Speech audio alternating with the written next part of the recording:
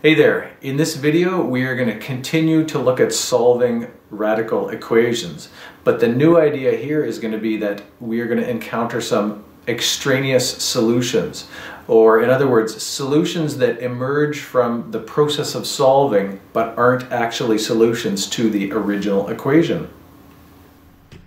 If we're going to solve this equation right here, we need to do like before and isolate our radical expression so that we can square both sides. So I'm going to want to move that 5 over to that side. If I move the 5 over, I'm going to get square root of x all by itself on this side. If I subtract the 5, I get negative 3 over here. I have square root of x equals negative 3. If I am going to square both sides, I am going to end up with x. If I square the negative 3, I get positive 9. That's the solution to my equation that I've got through this process. But here's the first place where it's going to be really important to check your solution. First of all, let's check that I did everything right here. When I moved the 5 over, I made it my, negative 5 on the other side. 2 minus 5 is the negative 3. So that's the right value over there. I squared both sides. I squared this side, it gives me x. I squared this side, it gives me positive 9. I'm going to take this value now and check it. So I'm going to write out the original equation and sub in the 9. Okay, and then I'm going to sub in my 9 here instead of x. And then we're going to evaluate each side here. Square root of 9 is 3. Plus 5 equals 2. And you can probably already see something's going on here. 3 plus 5 is 8. 8 is definitely not equal to 2. These are not equal. These are not equal.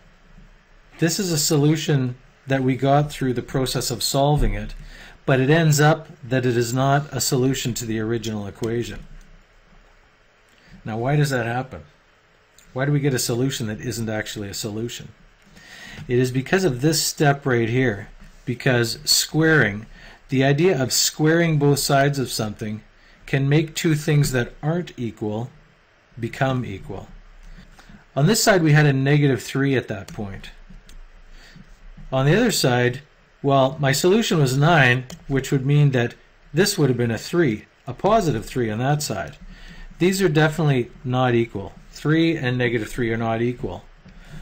But as soon as I square both sides of them, they become equal because they're both 9. Squaring both sides is sometimes going to create things being equal and because of that, solutions that aren't actually solutions to the original equation. This is called an extraneous solution.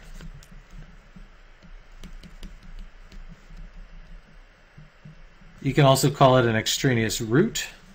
An extraneous solution is one that emerges from the process of solving but isn't actually a valid solution to the original equation.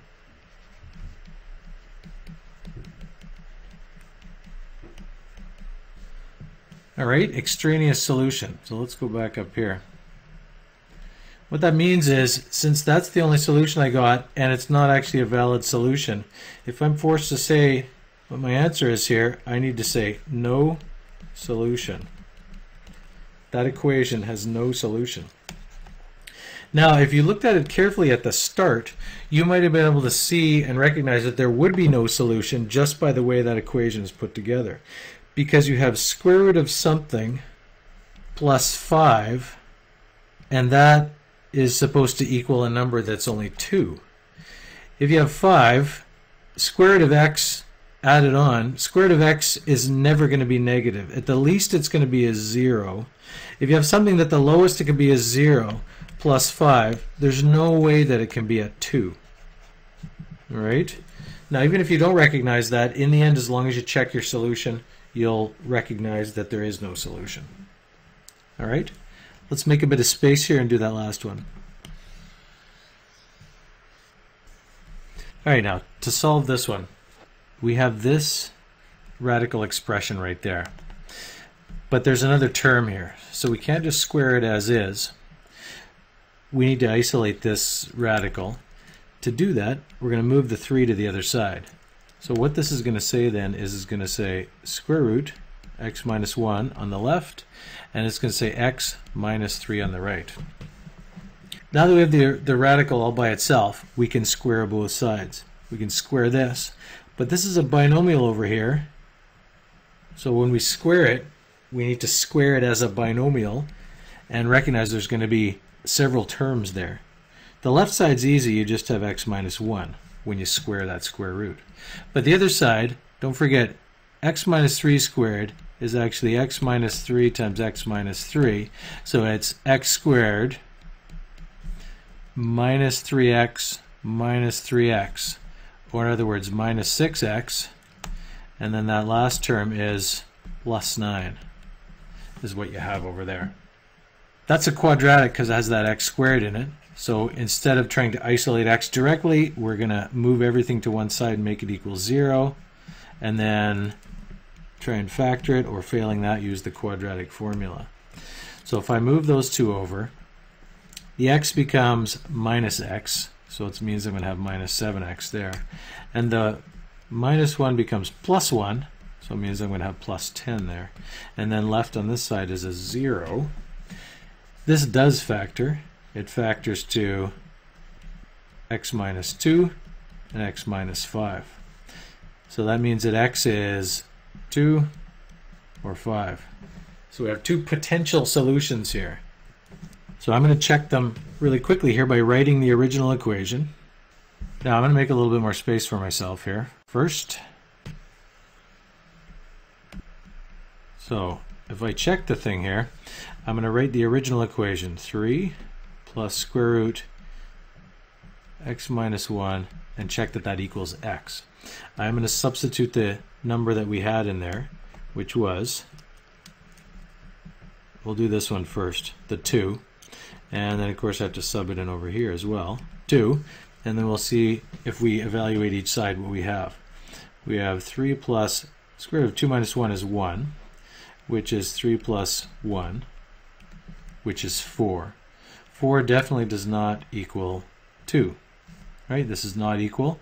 So this is not a solution. What I'm going to do up here is I'm going to cross it out and say that I'm going to reject that solution. It's a solution that came from the solving, but it's not actually a solution.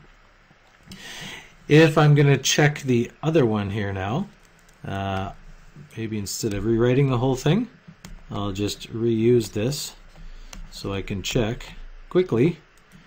If I put my 5 in here and put 5 over there, and now if I evaluate each side, this is a 4. Uh, square root of 4 is 2, and 3 plus 2 is 5 this actually is equal. 5 is 5, so this one works. This one's okay, right? That one's okay. The 2 needs to be rejected. So there's actually only one solution here, and that is x equals 5. Right, even though you get two solutions through the solving process, one of them has to be thrown away because it's an extraneous solution.